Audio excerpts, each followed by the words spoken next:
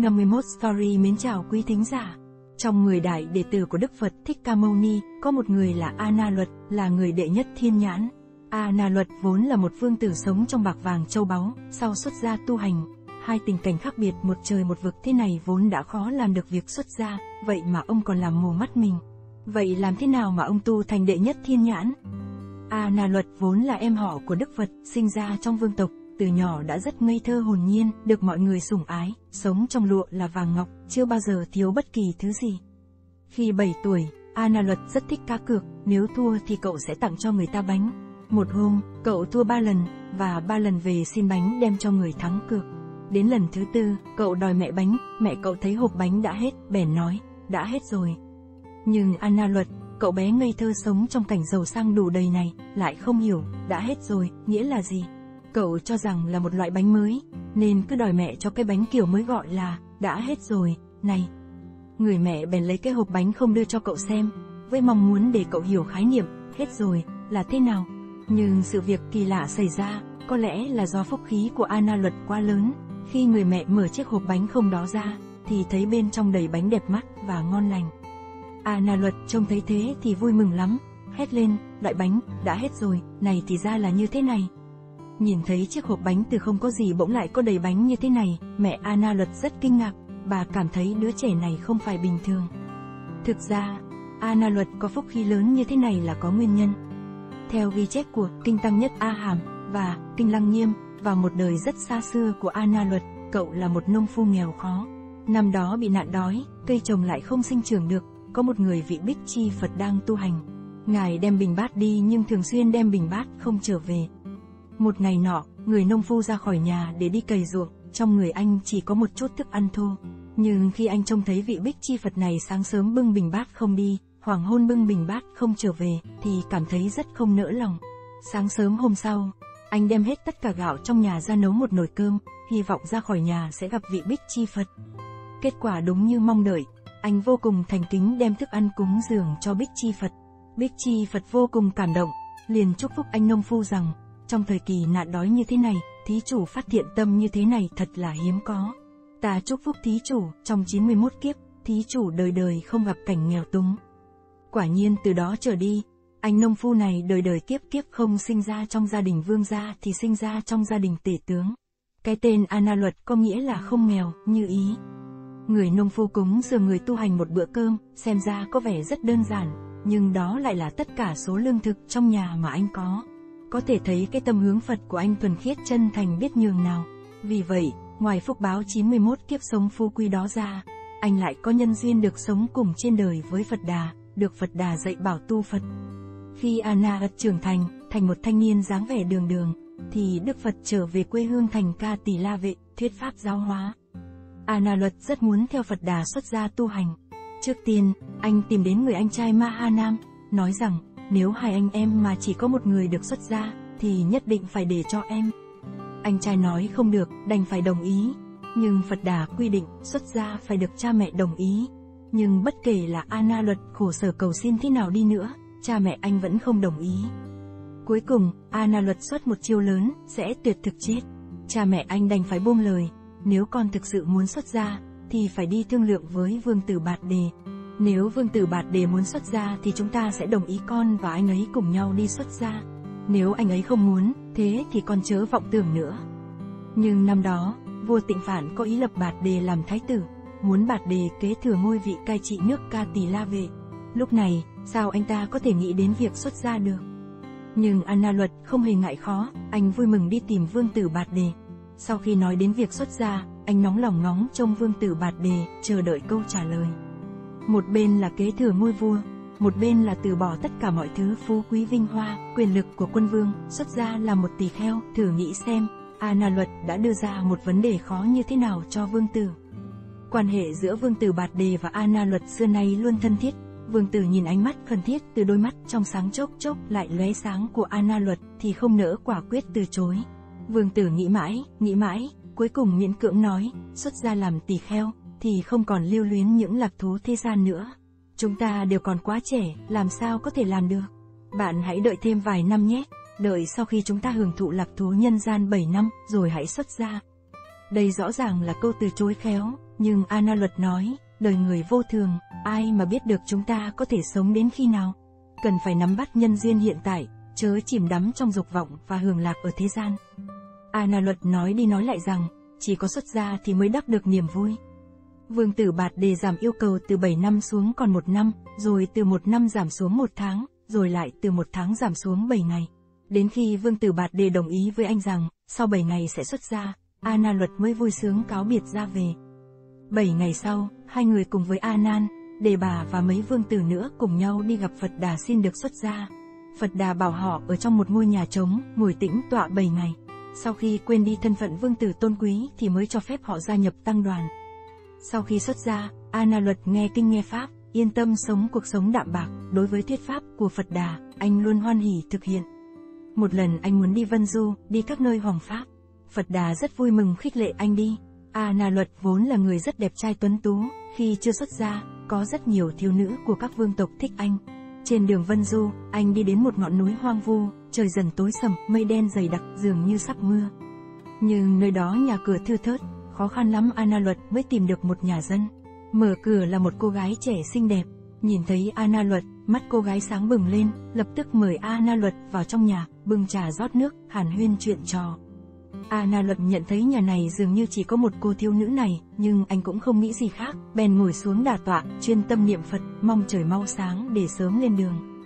Nửa đêm vắng lặng, cửa phòng bỗng kẹt một tiếng và mở ra, thiếu nữ đó đến bên Ana Luật, dịu dàng tình cảm nói, em biết chàng là một vị sa môn, nhưng sau khi em nhìn thấy chàng, em không thể nào áp chế nổi tình cảm đối với chàng. Xin hãy tin em, em không phải là cô gái trăng hoa. Gần đây có rất nhiều người bà La Môn có danh tiếng, có tiền tài, em đều từ chối. Nhưng em thấy dung mạo đoan trang tuấn tú của chàng, em đã yêu chàng rồi, em nguyện đem tấm thân này cho chàng. Xin chàng từ nay ở lại nhà em, cha mẹ em nhất định sẽ rất vui mừng. Thiếu nữ thấy Ana Luật không để ý đến, vẫn cho rằng Ana Luật xấu hổ, bèn càng tiến đến gần hơn, xoa xoa bàn tay của Ana Luật. Lúc này, Ana Luật mở mắt ra và nói, cô nương, cô đang làm gì vậy? Ana Luật nghiêm mặt nghiêm giọng cự tuyệt cô gái. Thiếu nữ cảm thấy vô cùng xấu hổ, nảy sinh lòng hối lỗi, xin Ana Luật giúp cô quy y Phật Đà, cô muốn trở thành cư sĩ tại gia. Trước mỹ sắc, Ana Luật tâm địa quang minh, đạo tâm kiên định. Từ đó trở đi, Ana Luật không bao giờ tá túc trong nhà người dân nữa. Tuy nhiên, trải nghiệm mỹ nữ ngồi lòng tâm không loại của Ana Luật được các tỷ kheo kính phục. Tuy nhiên Ana Luật có tật là ngủ gật. Mỗi khi Phật Đà giảng kinh, Ana Luật lại ngủ gật. Làm thế nào vượt qua được tật này? Đối với những người dòng tộc thích ca xuất gia, Phật Đà yêu cầu đặc biệt nghiêm khắc. Một hôm, Phật Đà nói đi nói lại về tinh tấn, các đệ tử có mặt đều tập trung tinh thần lắng nghe, nhưng Ana Luật vẫn cứ ngủ gật. Phật Đà nhìn thấy thì nhắc nhở rằng, chào ôi ngươi thích ngủ, làm loài ốc chai sò, mỗi lần ngủ ngàn năm, không nghe được danh Phật, ý nghĩa là, pháp pháp khó gặp, ngày nay may được thân người, được nghe Phật Pháp, tại sao hễ nghe kinh là lại ngủ gật? Nếu thực sự thích ngủ như vậy, thì sẽ chuyển sinh thành loài ốc, chai, sò dưới đáy biển, mỗi lần ngủ là một ngàn năm, như thế sẽ không thể nào có cơ hội được nghe Phật Pháp nữa. A Na Luật nghe xong cảm thấy vô cùng xấu hổ, bèn quỳ xuống thề rằng, từ ngày hôm nay, đến hết đời, đệ tử sẽ không ngủ nữa. Đối với đệ tử nhận lỗi sám hối, Phật Đà luôn hoan hỉ. Thấy Anna Luật thề, Đức Phật khích lệ và an ủi Anna Luật, bảo Anna Luật hãy chăm chỉ dụng công, tu hành cố nhiên không được quá trễ nải, nhưng cũng không được quá sốt sắng. Từ đó, từ sáng sớm đến hoàng hôn, từ đêm đến ngày, Anna Luật cần cù dụng công, tuyệt đối không ngủ. Nhưng một vài hôm như thế cũng không sao, lâu ngày, hai mắt Anna Luật sinh bệnh. Phật Đà tìm đến, từ bi hỏa ái nói với Anna Luật rằng, này Anna Luật, lời ta đã nói với con đó, tu hành không gấp cố nhiên là không được, nhưng gấp quá cũng không được. A Na Luật cung kính nghe và kiên quyết trả lời, con đã thề trước Phật Đà rồi, con không thể trái lời thề. Phật Đà nói, chà, con chưa nhớ đến vấn đề đó, đôi mắt quan trọng. Tuy Phật Đà đã dạy bảo như vậy, nhưng A Na Luật vẫn không nhắm mắt ngủ. Phật Đà đành phải lại khuyên bảo, A Na Luật, tất cả chúng sinh đều cần thức ăn mới có thể sinh tồn được. Tai lấy âm thanh làm thức ăn, mũi lấy mùi hương làm thức ăn, lưỡi lấy vị làm thức ăn, thân lấy tiếp xúc làm thức ăn, mắt chính là lấy ngủ làm thức ăn. Thế nên, con đi ngủ đi, chờ nghĩ đến các vấn đề khác, cho dù Niết Bàn cũng vẫn cần ăn uống. A Na Luật ngạc nhiên, ô, Niết Bàn ăn gì? Đức Phật nói, Niết Bàn lấy không buông thả làm thức ăn. không buông thả có thể đạt đến cảnh giới vô vi. Cảnh giới vô vi cũng cần lấy thiền duyệt pháp hỷ làm thức ăn. A Na Luật nói, thưa Đức Phật, mắt lấy ngủ làm thức ăn, nhưng con không ngủ cũng không sao, xin Đức Phật yên lòng. Trước sự từ bi của Phật Đà, A Na Luật rất cảm kích, nhưng anh không muốn trái với lời thề, vẫn không ngủ. Phật Đà thấy đôi mắt A Na Luật sưng đỏ, bèn đi gọi danh y kỳ bà đến điều trị. Kỳ bà xem xét xong thì nói với A Na Luật rằng, chỉ cần anh ngủ thì mắt sẽ khỏi ngay. Nhưng A Na Luật vẫn không muốn ngủ. Không lâu sau, hai mắt A Na Luật bị mù. Phật Đà nhớ đến câu mà Ngài đã giảng cho A Na Luật để anh tin tấn tu hành, khiến cho đôi mắt anh bị mù. Bèn dự tính làm thế nào để đôi mắt A Na Luật lại nhìn thấy ánh sáng. A Na Luật đã bị mù, nhưng không hề cảm thấy buồn chán. Trong tăng đoàn, mọi người rất hòa ái, những người khỏe mạnh ra ngoài bưng bình bát đem cơm về, luôn chia phần cho các tỳ kheo có bệnh. Lúc này, Ana Luật không nhìn thấy bất cứ thứ gì, thì cũng không còn bị ngoại cảnh cảnh nhiễu nữa, tinh tấn thành tâm tu hành. Nhưng sau này, bộ tăng phục của Ana Luật bị rách đến mức không thể nào mặc được nữa. Anh bèn thỉnh cầu Anan cắt khâu giúp mình một bộ y phục mới. Đức Phật biết chuyện bèn bỏ ra thời gian một ngày đích thân ngài cắt khâu một bộ y phục cho Anna Luật. Đức Phật ngồi cùng với Anna Luật, người đã mất đi đôi mắt, và từ bi an ủi và dạy Anna Luật tu tập pháp tam muội vui thấy kim cang chiếu sáng. Không lâu sau, Anna Luật chứng được thiên nhãn, không chỉ có thiên nhãn, mà còn chứng được bán đầu thiên nhãn, tức là cả nửa cái đầu của Anna Luật là thiên nhãn. Tất cả mọi nơi thập phương của tam thiên đại thiên thế giới Anna Luật đều nhìn được rất rõ ràng, giống như nhìn quả Amala, một loại trái cây của Ấn Độ, trên bàn tay. Bất kể là gần hay xa, trong hay ngoài, những thứ mà người khác không thể nhìn thấy, những nơi mắt thường không thể nhìn thấy, thì Ana Luật đều có thể nhìn một cái là thấy rõ hết. Sự cảm kích và hoan hỉ của Ana Luật quá lớn. Trong lòng Đức Phật cũng rất hoan hỉ, lúc này Đức Phật mới yên lòng. Trong tăng đoàn, rất nhiều người hâm mộ và kính trọng Ana Luật. Đây là thành quả uy lực từ bi của Phật Đà, cũng là thành tựu mà Ana Luật đã vô cùng kiên quyết tu hành được. Dùng thiên nhãn, Ana Luật có thể nhìn thấy thế giới Tây Phương cực lạc, khiến những chúng sinh mới học tăng thêm tín tâm thành kính đối với tịnh thổ của Phật A-di-đà.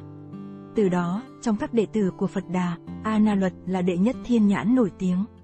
Sau khi chứng được thánh quả, tôn giả Ana Luật đã có thiên nhãn và trở thành đệ tử hàng đầu trong tăng đoàn.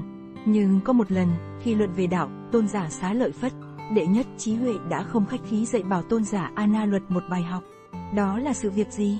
Thì ra tôn giả Ana Luật hỏi tôn giả xá lợi Phất rằng, thưa tôn giả xá lợi Phất, tôi dùng thiên nhãn thanh tịnh, có thể nhìn thấy tam thiên đại thiên thế giới, tôi có chính niệm tinh tấn bất động. Hiện nay thân thể tôi dường như ngao du giữa trời đất thanh tĩnh, tâm tôi đã rời khỏi chấp trước, không còn tàn loạn nữa. Xin hỏi tôn giả, đây là rời xa phiền não được giải thoát chưa? Tôn giả xá lợi Phất là nhân vật hàng đầu đệ nhất trong tăng đoàn, nghe những lời của tôn giả Ana Luật, tôn giả xá lợi Phất nói, tôn giả Ana Luật, Ngài nói Ngài có thiên nhãn nhìn thấy tam thiên đại thiên thế giới, đó là tâm tự đại. Ngài nói Ngài có chính niệm bất động, đó là tâm hấp tấp. Ngài nói Ngài rời khỏi chấp trước, không còn tán loạn nữa, đó là tâm cuồng vọng. Theo giáo pháp của Phật Đà mà tôi liễu giải được, muốn rời xa tâm tự đai, tâm hấp tấp, tâm cuồng vọng thì mới rời xa phiền não, mới được giải thoát. Trước sự phê bình của tôn giả xá lợi Phất, tôn giả Ana Luật khiêm tốn tiếp thu, từ đó, ông không còn nói với người khác về cảnh giới mà ông chứng đắc nữa. Ông hiểu rõ những lời tôn giả xá lợi Phất nói, là lời mà người tu đắc đạo chân chính mới có thể nói ra được. Để khắc phục tật thích ngủ, tinh tấn tu luyện, Ana Luật quyết định không ngủ, đến nỗi mù mắt cũng nhất định không ngủ. Việc này người thường tuyệt đối không thể làm được, cũng tuyệt đối không thể bắt trước được. Nhưng trong đó triển hiện ra sự tin tưởng đối với Phật Pháp, tinh thần biết sai liền sửa, ý chí tinh tấn, thực sự có thể nói là kinh thiên địa khắp quỷ thần, Người tu luyện biết tầng thứ của thiên nhãn đối ứng với cảnh giới tinh thần của họ. Tôn giả Ana Luật có được thiên nhãn đệ nhất, có thể nhìn thấy tam thiên đại thiên thế giới, vẫn vô cùng khiêm tốn, có thể thấy cảnh giới tu luyện của ông rất cao. Điều này phù hợp với tầng thứ thiên nhãn của ông. Trên thế gian, có rất nhiều người không thừa nhận thiên nhãn, đương nhiên bởi vì họ không nhìn thấy. Nhưng có thể có một nguyên nhân quan trọng, đó là họ có cặp mắt thịt là đã rất tự đại rồi, như thế sẽ phong bế bản thân. Đương nhiên còn nhiều nhân tố khác nữa, tuy nhiên, đối với sự huyền bí của vũ trụ, nếu không có một cái tâm rộng mở và khiêm tốn, thì tuyệt đối không thể nào giải đáp được. Chúng tôi xin kết thúc bài chia sẻ của mình tại đây. Xin chân thành cảm ơn các bạn đã dành ra thời gian quý giá để lắng nghe bài chia sẻ này. Xin kính chúc quý thính giả cùng gia đình luôn luôn hạnh phúc, thành công và bình an trong cuộc sống.